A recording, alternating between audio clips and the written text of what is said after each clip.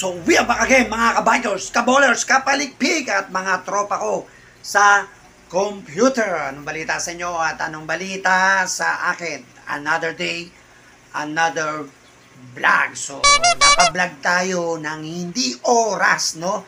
Dahil nagkaroon na naman ng spawning ang ating mga alagang isda. Kaya, syempre, ano pang gagawin natin kundi asikasuhin sila at talagang tulungan para ma-release yung kanilang mga itlog at mga sperm, no? So nataranta ako dahil excited talaga ako na magkaroon ako ng mga bagong isda. Kasi nga, yung mga last vlog ko, at netong mga nakarang itlog nila, eh lahat yung bugok.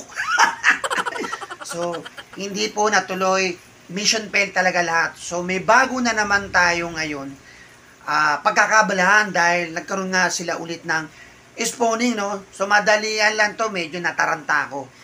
Pero bukod doon, eh, yung isa kong plano na i-separate na yung female at saka yung male na mga isda natin, no? Pagsasamahin ko na, no?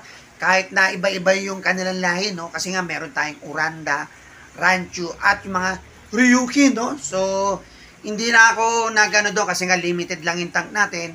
So, ginawa ko, pinag-iwalay-walay ko na para maging maayos yung ating aquarium.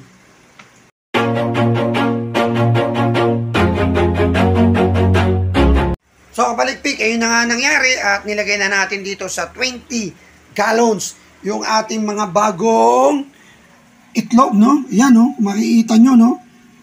Ang daming itlog nito, no? Pero hindi ko na tinodo dahil medyo limited nga yung space natin.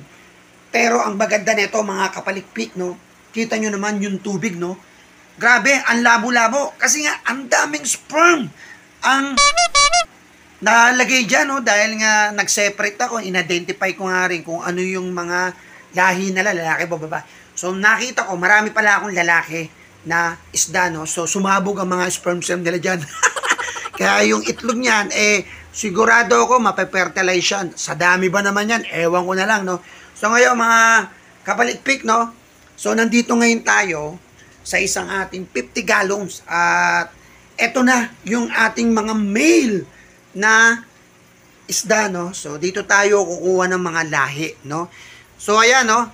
Nakita nyo ang ating mga male, yan. Si Sak, siyempre, proven na lalaki yan Talagang napatunayan na yan. Tapos si Tailu, no? Yan. Tapos yung ating binili na Ryu Kinabago, lalaki din yan. At si Black Eye na Rancho, no? So lalaki pala to. At si Boljak, no? Kala ko babae to, pero naglabas ng sperm cell yan eh. Kaya lalaki, no? Ngayon medyo naghahabulan sila dahil nagkakaamuyan pa sila ng sa nila dahil may mga lumalabas pang mga konting sperm sa kanila, no? Pero yan, proven na lalaki. So, ang kaganda ng lahi na na lalaki natin, no? So, abangan nyo mga kapalikpik, no? Pag nabuo natin yung ating ginagawa, yung mga eggs na yon eh, maging fry, eh, ang gaganda ng lahi. Dahil lahat sila nag-contribute, no? Nag-contribute lahat yan, lahat ng sperm cell nila, pinagsama-sama ko in one, no? Ano ba to? 5 in 1, no? 5 in 1 ang nangyari sa ating itlog.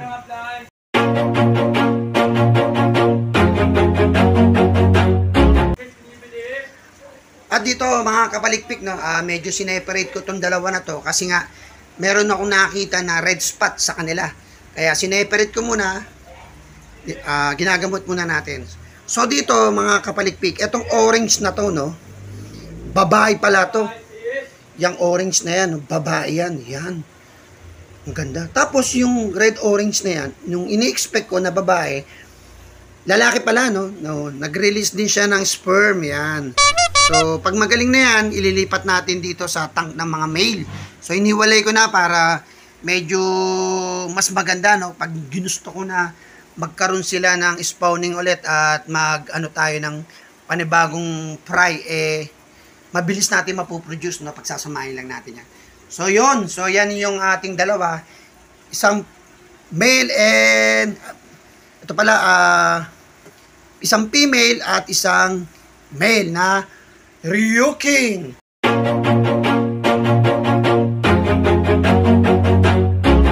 At of course, dito na tayo ulit sa ating 50 gallons. Binalik ko na, no? Nilagyan na natin ng laman to, no? At nandito yung ating mga female. Yan. Ang ganda, di ba? So, yan, proven. Op, nagkakaroon sila dito ng pulong-pulong. Oy, mga nagmamarites yata. No? Oy, babae ka pala. so, ito, unang-una sa listahan natin, ang ating number one na breeder, no? Ayun, si Apache. Si Wednesday. Grabe yan. Siya yung umitlog doon. Tapos, in-sperm cell ng ating apat na magigiting na lalaki, no? Iba-ibang lahi to, Wednesday, ha? Sana man naman maging maganda yung eggs mo, no? At lahat, eh, ma ma-fertilize. Diba? Dahil ang dami na, pang-apat na beses na po niyang nag-iitlog yan at yung tatlo nga mga kapalikpik eh, puro yon na mission fail. So this time, sana mabuo. Tapos, ang susunod natin, ito no, yung ating platinum na short tail na Ryukin, ah, na ranch, na Uranda, na babae din po yan, no. So medyo maliit pa siya, pero malaki na siya, pero kung i-compare mo sa iba, eh, maliit. At syempre si Max, no, ayan, si Max, babae, grabe nilagay ko dito, grabe, ang laki na nito nasa 10 cm na yata to. Halos kasi laki na ng palad ko. So nilagay ko dito dahil sobrang bigat na ng ulo niya na ang laki ng ulo niya no? Grabe pag nakakita niyo ng personal matutuwa kayo yan. Medyo may pagka lion head yata itong isda na to no? Talagang proven na babae din yan. Of course si ating tricolor natin si Trixie no? So hindi pa siya nag-release ng egg. One time pa lang tayo binibigyan na ito ng eggs pero sana sa mga susunod eh makapag-produce na rin tayo ng lahi nito. So sa ngayon, meron tayong dito sa tank na to, uh, apat. Apat na female. At meron doon sa kabila, no, may isa tayong na orange na Ryukin na female din. So pag magaling na sila, mga after 3 days, ililipat ko na ulit yan dito sa ating bagong tank.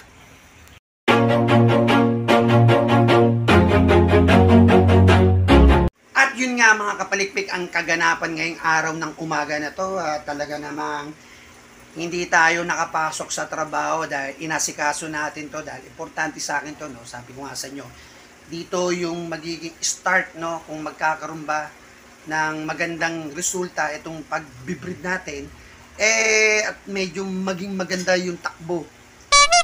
Eh dito nakasalalay ang aking future no? So kung dito ako makapag-decide kung talagang ano ba magwo-work pa ba tayo o magbi-breed na lang tayo, di ba? Di ba? Di ba? Kasi actually ngayon naglilibang nga ako dito. Sobrang dalilibang talaga ako sa ginagawa natin dahil sabi nga ng mga veteranong mangingisda dyan o yung mga nagbi-breed eh, pag once na nasimulan mo na yan at talagang fish lover ka talaga, mahirap ng pigilan no? Kahit natutulog ako, napapanaginipan ko itong mga isda na to. Eh. so, ganun ako ka-excited dito na pag-alaga ng isda. So, after 1 hour siguro, papakita ko sa inyo kung magkakaroon ng kung na-fertil, uh, na-fertilize na to, no? So, balikan natin to.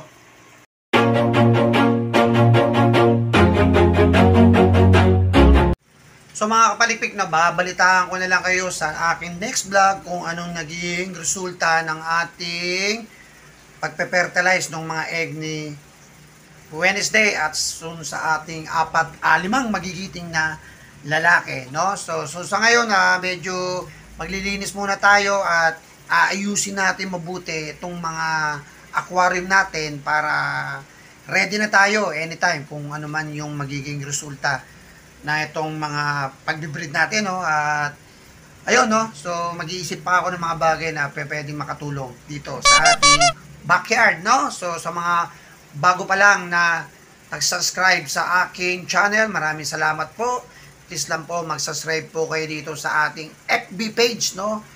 Rico's Backyard, no? So mga kapalipik. At syempre, ang ating YouTube channel, ang ating official logo, ayan po, ang gandang lalaki na itong model na to, no? At syempre, itong ating Rico's Backyard, ang ganda ng ating logo, no? So, si Oscar po yan, ha? si Red Bobo, ang ating Oscar Peace, ang ating modelo. At doon sa mga datihan kong subscriber. Maraming salamat po ulit sa walang sawang pagsubaybay dito sa ating channel.